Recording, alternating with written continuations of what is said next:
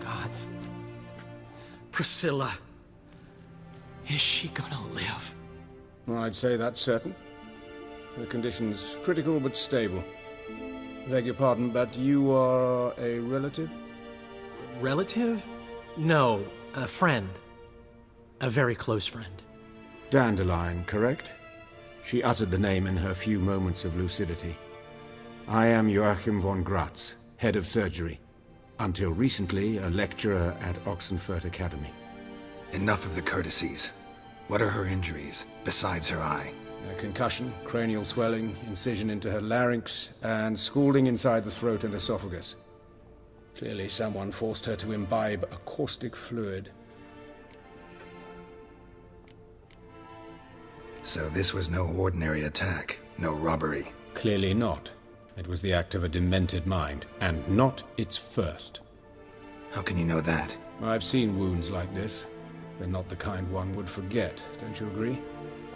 In fact, just this week a corpse turned up in the morgue with similar injuries. And no heart. No heart? You mean that might have happened to Priscilla? Is someone looking into this? This is Novigrad. Only the innocent burn here. Geralt, I know I owe you a hundred times over, but I need to ask you another favor. Find the bastard who did this. Find him. And kill him. Don't need any convincing. Come on, Dandelion. Let's think about what we can do. I... I would suggest examining the previous victim's corpse. It has yet to be autopsied. Doing so could very well provide some clues. No need to look astonished, gentlemen. As a surgeon, I know the importance of preventive medicine. Rather than wait for this maniac to strike again, I'd prefer to excise him. Not unlike a tumor. Great analogy, but this tumor's not gonna sit there, wait to be excised. Appreciate the help, but I doubt you know what you're getting yourself into. I know perfectly well, and I assure you I can take care of myself. Easy assurance to make, harder to back up, especially if you've spent your whole life wielding a scalpel, not a sword. Look at this scar. Don't be shy. Any idea what leaves such a mark? A flail. Morning star, maybe. What do you think? A blow sustained at the operating table? No? Let me repeat. I know what I'm doing, and I wish to help. Think they'll let me into the morgue? By the main entrance, certainly not. But you can also get inside through the sewers. The sewers. Travel them often, Doctor? As often as required for, uh, the pursuit of preventive medicine. Alternative treatments. Aggressive ones, I'm guessing. Interesting. We can discuss this en route. Are you ready? Mm-hmm. Ready and intrigued. I'll get whoever did this, Dandelion. Even if it's Hierarch Hemelfart himself. Thanks.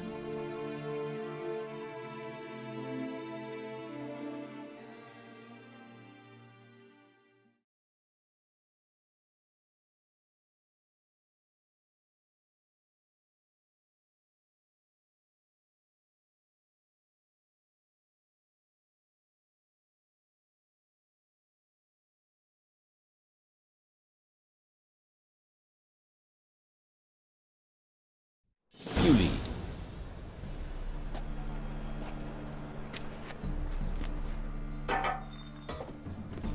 So, preventive.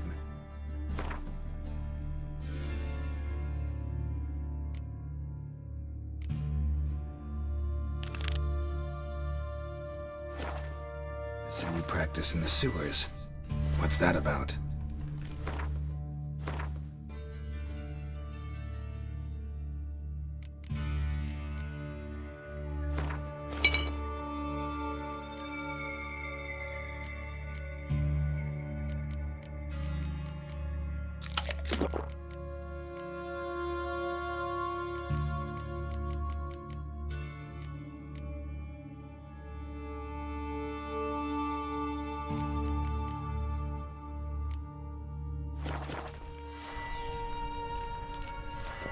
Thick. Sewing up drowner victims can grow awfully tedious. Is it not better to nip the problem in the bud? I tried to get the temple guard to enter the series, alas, to hear that. Been hearing it for a while. Draw your weapon.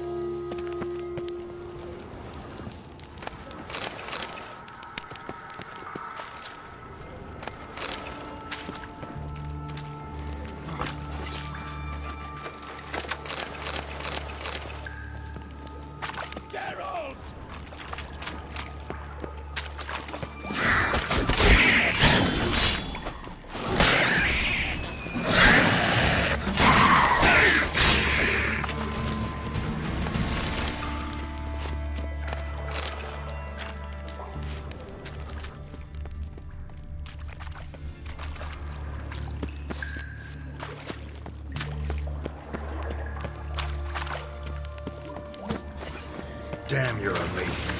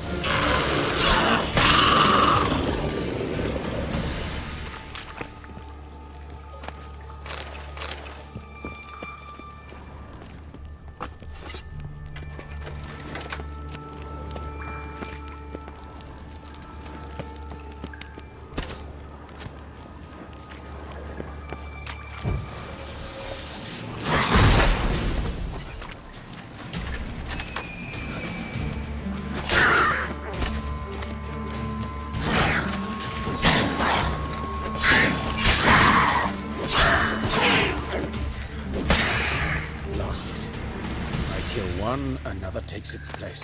I know how you feel. Believe me.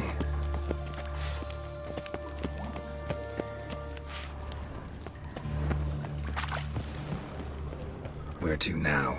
Up? Yes, it's not far now. Priscilla. How's it look? Give it to me straight, no sugarcoating. Her wounds will heal, but it's her voice that concerns me. Surely you understand what a terrible blow that would be to a trouvère. Enough to strip her of the will to live. Any remedy for that? I fear only your friend Dandelion can be of help on that.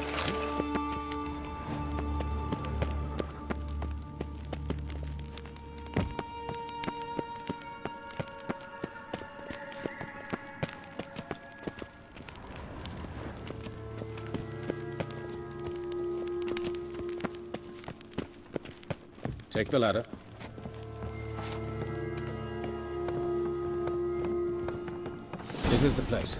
Come, the quicker we take care of this, the better. Why? Got somewhere to be? Someone might disturb us. The coroner, for example. Or Reverend Nathaniel Pastodi. Very well. We seek the corpse of a dwarven woodcarver.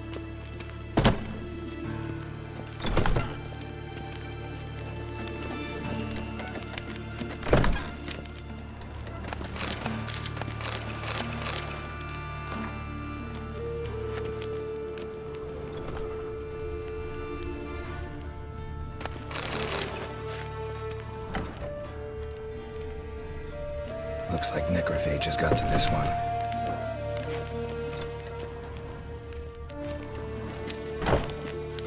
Human. Wrong body type. Let's keep looking.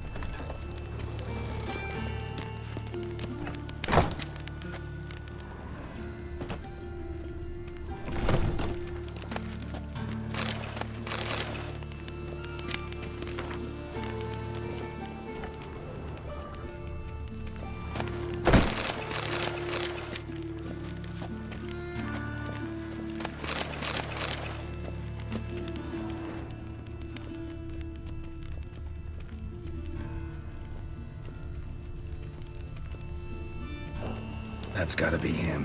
This one's a she. Remember, beards are no indicator of gender amongst dwarves.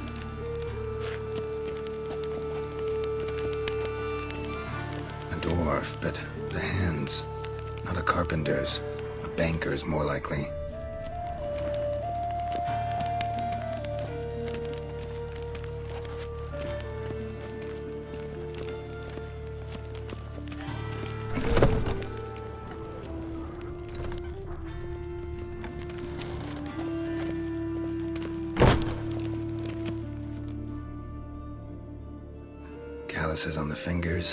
Sawdust in the beard, clothes sticky with sap. Must be our dwarf. Excellent. I trust you don't grow weak in the knees at the sight of blood. Not a bit. Start the autopsy. Where? Let's look at his head. Hair smells like it's burnt. Like he was in a fire. Notice anything else? That his eyes have been scooped out, for instance? Those burn marks I see in his eye sockets. Yes. And some grey dust. Ash, it seems. Very fine.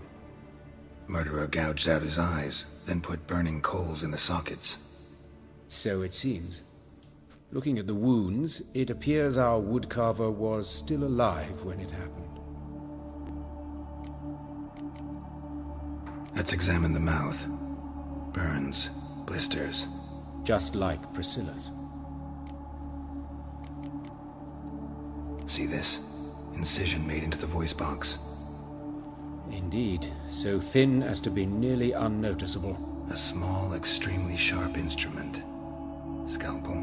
But why? The wound is too small to bleed, and there are signs of swelling. The murderer. I believe he performed a tracheotomy, so the victim wouldn't die too soon. Let's examine his torso. What have we here? Deep wound on the left side of his rib cage, and a scar the length of his stomach. Let's examine the chest wound. Yeah, heart carved out, wound cauterized. Wait a minute, there's something else.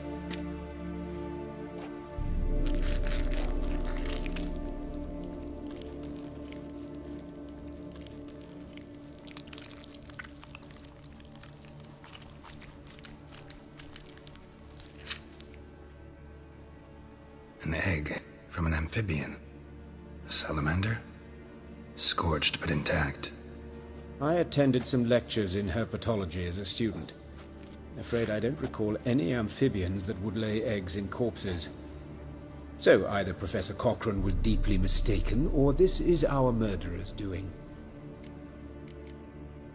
Look at the scar. Wounds long and thin, an incision. But the edges are ragged. Means nothing. Look, no swelling, no bruises. An old injury, perhaps uh, an accident in the workplace. Open the abdominal cavity. Uh, due warning, it will stink of rot.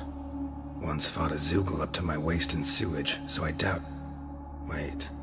Smells not rot. Formaldehyde. A medical novelty. Heavily diluted, it's remarkable at preserving organic tissue. In stronger proportions, it's more destructive than acid. Explains why there's no smell of decay, and why his throat scalded.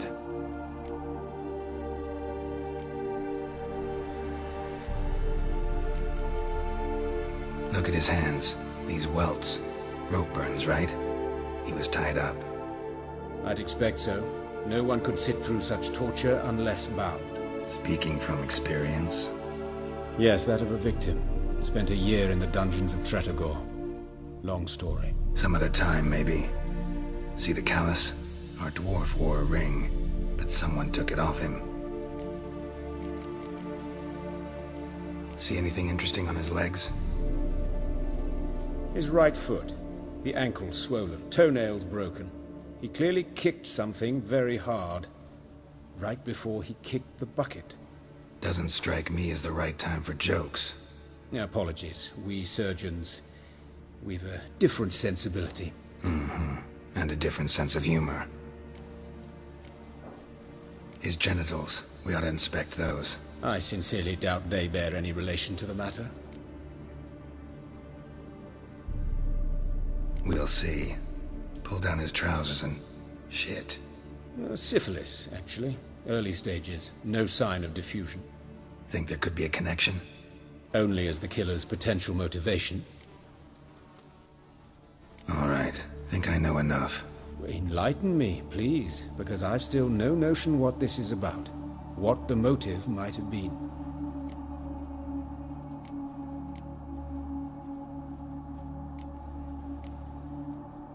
It's some kind of sick ritual.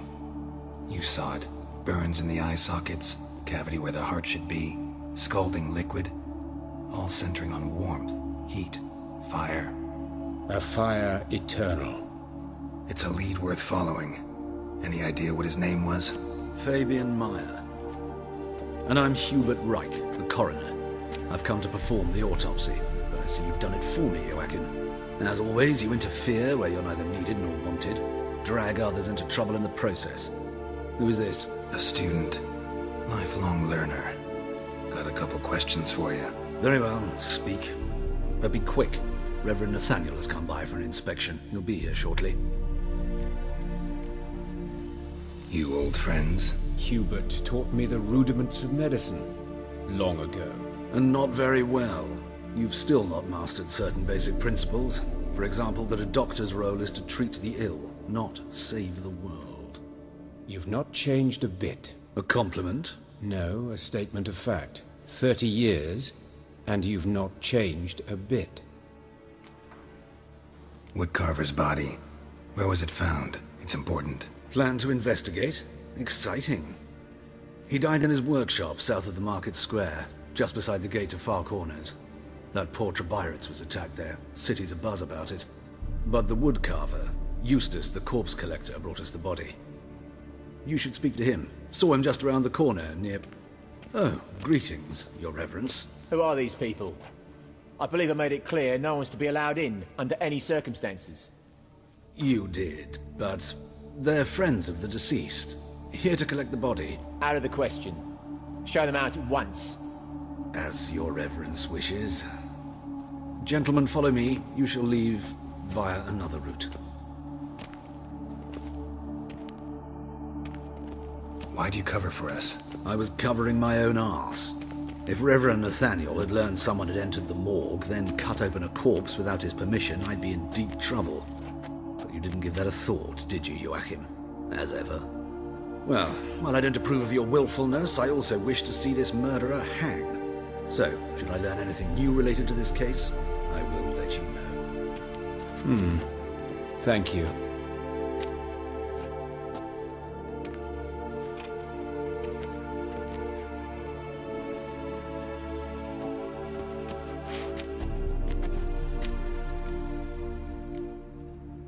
Nathaniel. Who is he? A scoundrel. A rogue.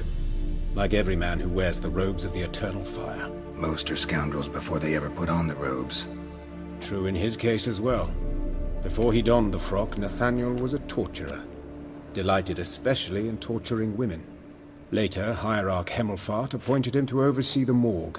He deals with the temple guard, supervises cremations, conducts funeral masses in the temple on the Isle, and so forth. Hmm.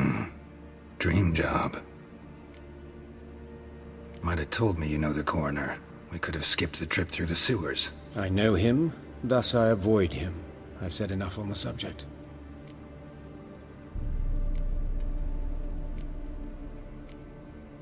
I decide when we're done with the subject. What's your connection to him? An old story, but if you insist. The student protests in 1242, you've heard of them? I led them. Hubert, however, denounced me to the authorities. I landed in prison. There you have it. What will you do now? Plenty of leads. Woodcarver's workshop, the corpse collector who found him, alley where Priscilla was attacked. Got work to do. As do I. At the hospital. I must return there. But I shall keep my fingers crossed. And I'll keep my eye on you.